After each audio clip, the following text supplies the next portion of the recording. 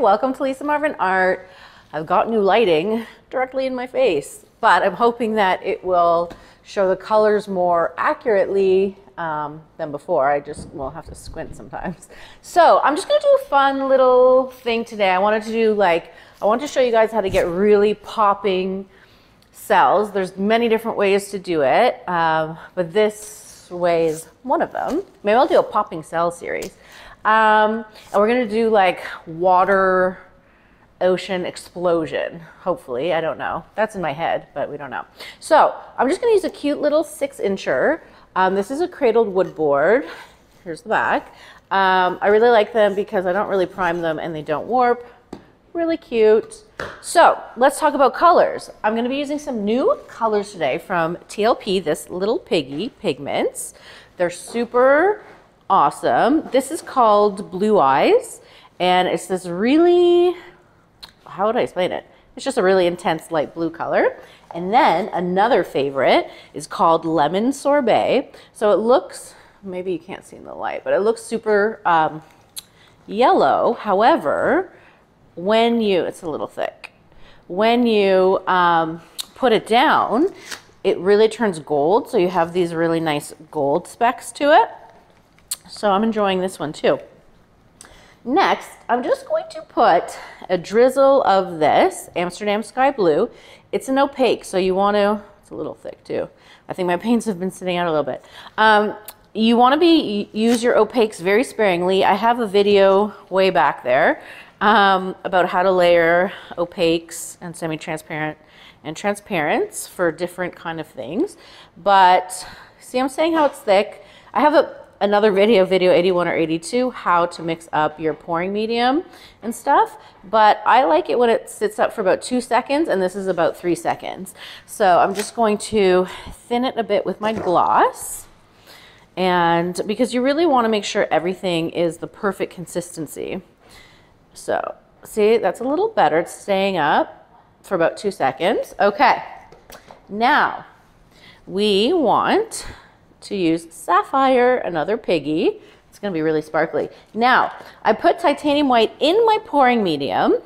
This is going to create really some cool peacock cells with the white. Um, so only sparingly we use that. And then also golden fluid phthalo turquoise, also very sparingly. I'm going to be using two cell activators. Now, I use the SheleeArt recipe, which is four parts Australian Floetrol to one part paint, uh, depending on the paint that you use. Um, I'm going to be using titanium white and uh, this Payne's Gray. Now, I really suggest for all you newbies, or even not newbies, who really want to bloom but can't, to take the SheleeArt class because I can give you all the recipes and ratios, but if you've tried blooming, you know it's not just about the recipe. It's really about knowing and learning and about consistencies, layering, blowing. There's so many different steps that are so hard. I have a 15% discount in my description. Let's get painting. Um, all right, why don't I just pause you for a minute, fix my camera down, and then we'll get going. Okay, see you in a sec. Okay, so I have my Sherwin-Williams color to go, tricorn black down. Um, and let's start layering. So I'll start with the blue eyes. I don't want to put too much paint down. Uh, it would be nice to have negative space, but it could be too small for that for me. We'll see some of this lemon sorbet. I'm going to put a lot down because I love her. Okay. And I'm going to do just a tad of this sky, oops, sky blue. And then I'll do the sapphire.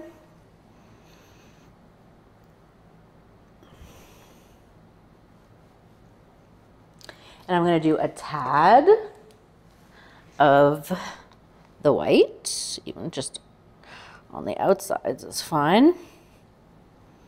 Okay. Then a bit of the turquoise. You can see my paint is really, there's, I'm putting too much on. There's going to be no negative space, guys. So normally, normal people would do like a third of their piece, but first of all, I never do this small anyway, so I'm not used to it, but also apparently I just waste a lot of paint. All right, I'm mixing up my titanium white. Let's see. It's looking a little thin for me. Um, let's see. Yeah, I'm gonna put a, just a bit more white in there. Um, I like to, I like to, I like it to hold up for a bit. You have to mix it really well. So let's see how we're doing. Yeah, it has a little more body, which I like, because I don't want it to sink down right away. There we go. And the Payne's Gray. All right.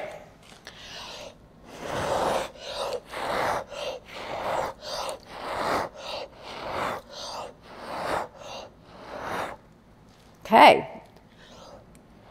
I'm not even going to touch the edge there.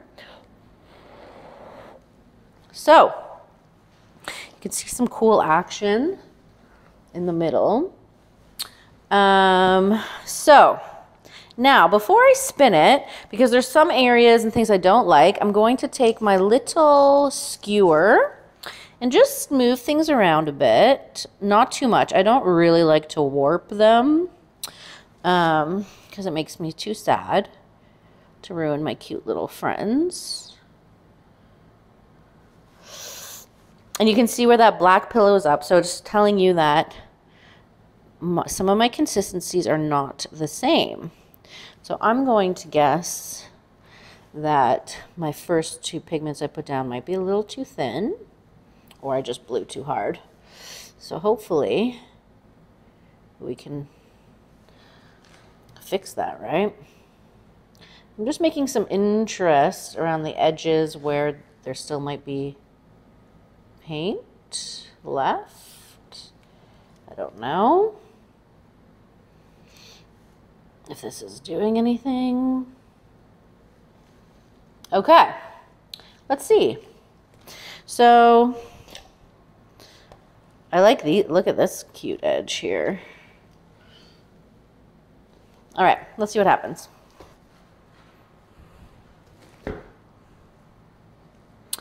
Yep. Oh. So, right now, I like this edge this one's a little boring. So I'm going to tilt it.